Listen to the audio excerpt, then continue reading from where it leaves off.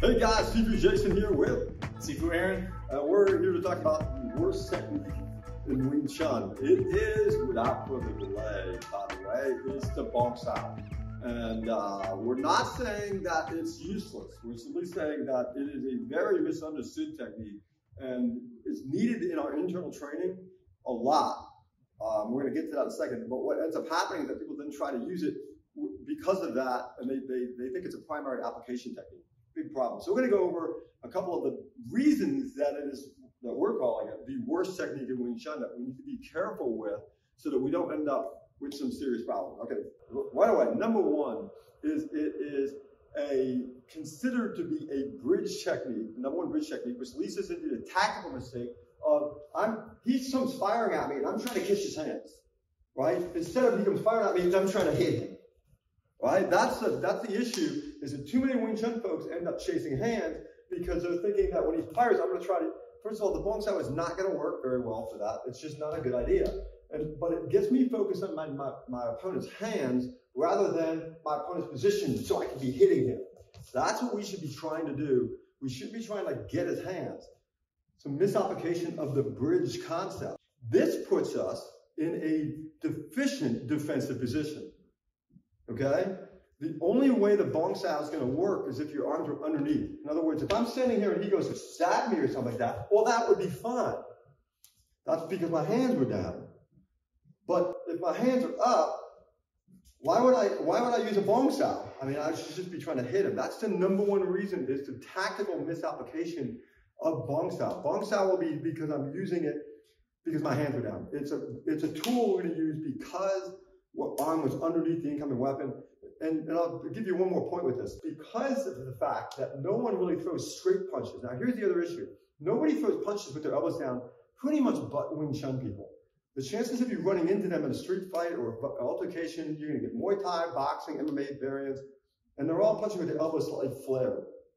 So the problem there is that this isn't going to work. I'm not going to ship and catch that in any way, shape, or form. It is not a sufficient defensive maneuver against contemporary punches, and it will get you in serious trouble.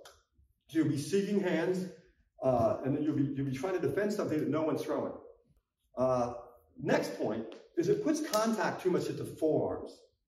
Okay, that's the other issue. So we're using it internally so we can train our technique. But the problem with that is that say, let's say, let's say we're just doing, you know, Chi Sao. So he, he, he uses a punch and he's kind of forcing my bong sao. In other words, when he does this, it's forcing my bong. Now, because of the training environment, I'm keeping the bong in play basically. So we can stay in contact to train. In reality, if he pushed, I'd be letting go. I don't want to hold that line. I want to get the flank and beat the bejabbers out of the guy and get home safely, uh, you know, to my wonderful family and uh, a good meal, that kind of thing, right? So I don't need to hold hands with the dude. And that's another issue because a lot of the trainers do chi sao. I mean, we're staying in this chi sao snowball bubble, okay? We're staying there. But which then brings the next problem.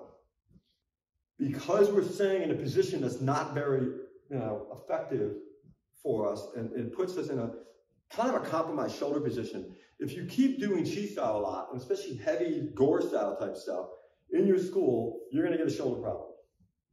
The, the, the shoulder issue with bong sao because you're constantly using it and you end up carrying the weight of the other guy.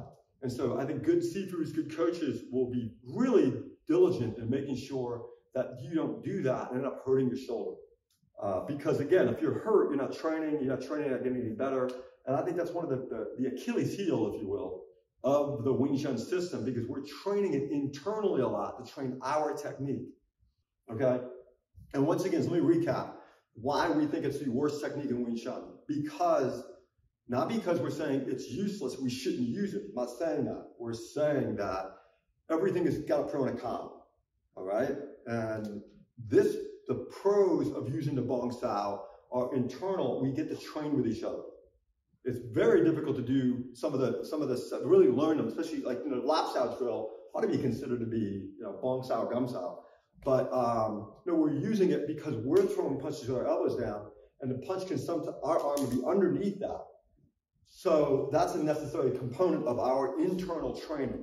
Much like a boxer's jumping rope and hitting a speed bag would be necessary parts of, of their internal training. But they certainly don't try and fight like that.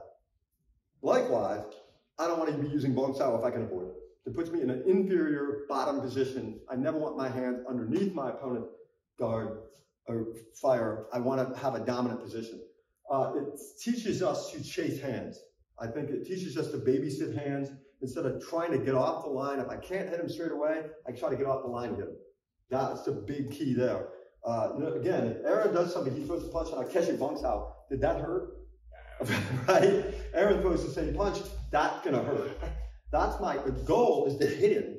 And it's very consistent with the wooden dummy. The wooden dummy is a series of flanking motions and shifting and stepping so the opponent can never face you. So bong sao can be used within that context and should only be used within that context. We need to know. Um, so don't chase hands, hit him, get off the line.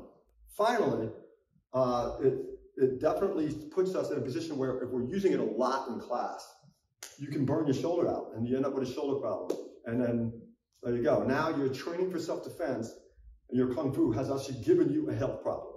And I don't think you should really undervalue that. If you're watching this and you're 20 years old, you're like, ah, I'll be fine. I'll never get old. Uh, you know, yeah, all right. Keep doing something. And especially when things happen to you after 50, they don't become injuries. They're small disabilities.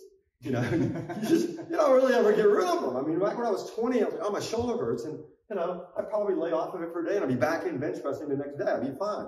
Uh, not so much when you get a little older. So please take those things into consideration.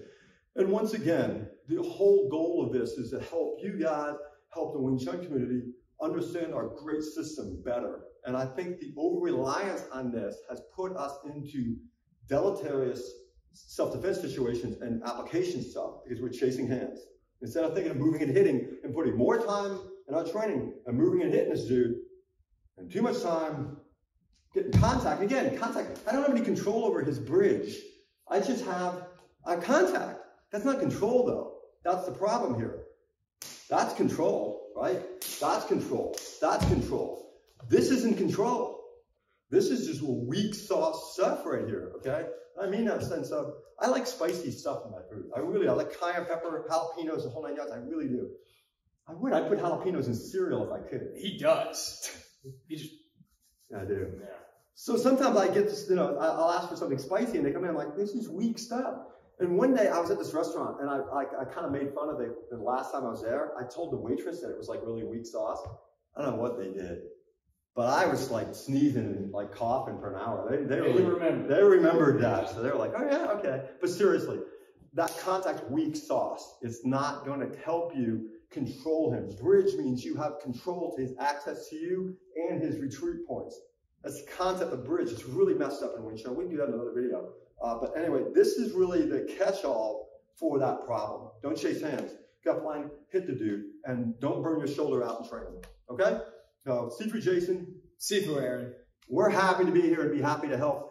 Please click that button at the bottom, like and subscribe, get the bell to go off, so whenever we do anything, you're alerted to it. It's, it's important in life to know We do if we do anything.